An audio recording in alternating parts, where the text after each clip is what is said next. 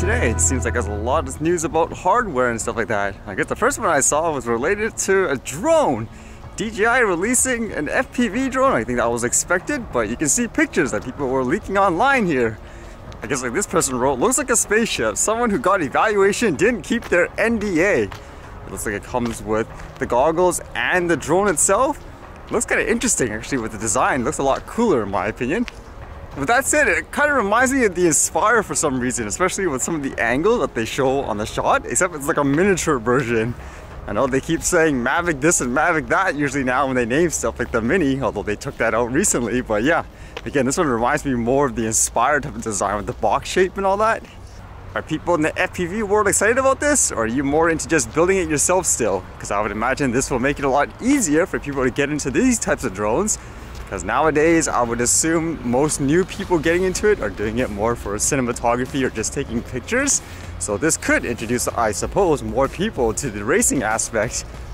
Then again, I'm not sure you want to actually race this one, so to speak, like in an actual sporting event. I would imagine it's more, again, for cinematography and stuff like that. I could be wrong. Then again, I don't really fly this stuff.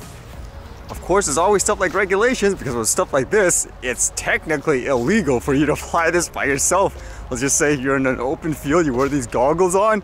oh, you don't have line of sight anymore, it's illegal, which is a little ridiculous and needs updating in my opinion.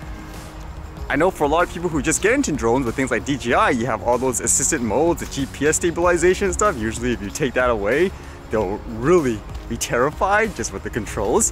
Which makes me think, because there's an article today how in PEI, this says here the RCMP is training for more officers to fly drones. Essentially, they're saying it's more effective in terms of speedy investigations, it's a lot cheaper. Although this quote made me wonder because he says here, quote, I enjoy flying a drone. It's very useful for us at crime scenes. So, I don't know, the fact that a police officer says he enjoys flying it, it makes me wonder because it's so new, maybe for a lot of these people when they do it for the first time like law enforcement they're getting the thrill out of it where if you're using it for professional purposes like that i would assume you should be desensitized to it it's just oh i'm flying this up there now. wow this is so cool actually that would kind of explain how that first ever drone crash here in Canada, the tangible one with the RCMP crashing into the helicopter, that'll explain how that would happen actually. Because they're so amazed and they're not experienced in actually flying them. Like they say here you need more training, but it's not through the, the way the system is currently here in my opinion, teaching you all about manned aviation stuff. It's about actually getting experience in my opinion, like hands-on. And for the other hardware stuff I read, I guess new processors are coming out for phones as is expected. It's almost the new year. This one, it says here, the Snapdragon 888 is Qualcomm's latest premium CPU for smartphones. In reading this though, it seems like they're going to have a lot more features to make things like capturing photos and stuff a lot better. I'm actually waiting for the day where this little thing can replace completely like a really high-end camera.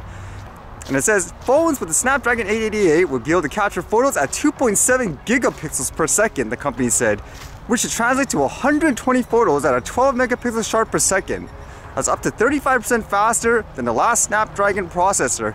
So it's a lot of, I guess, innovation and stuff and progress coming with things like processors and phones.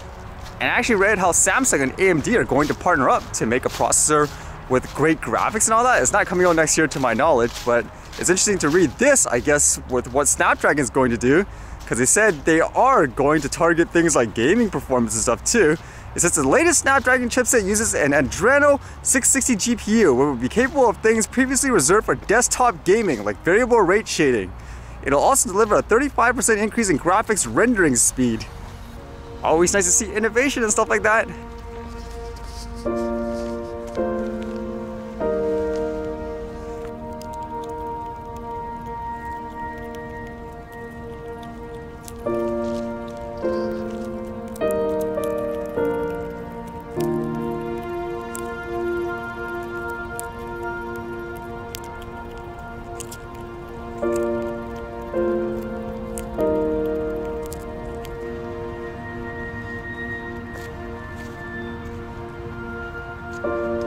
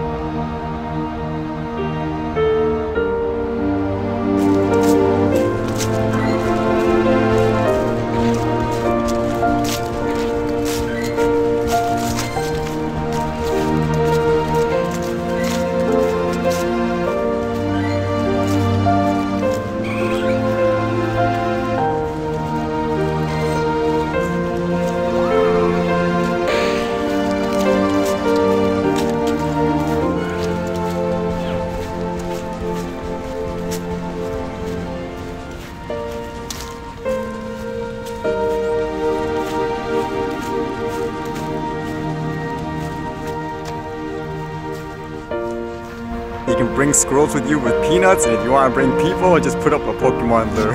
He'll gather up.